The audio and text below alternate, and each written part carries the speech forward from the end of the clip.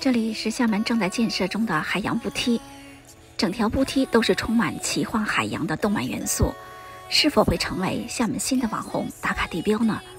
马上就要竣工，正式对外开放了，它是什么样子呢？和我一起先目睹为快吧。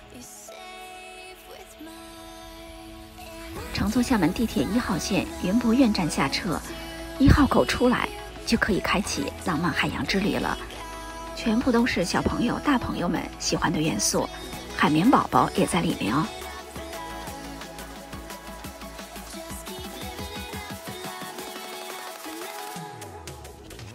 平台的最顶层是观海餐厅，通道两边都是隔开的小商铺，应该是类似假日集市的小摊位吧。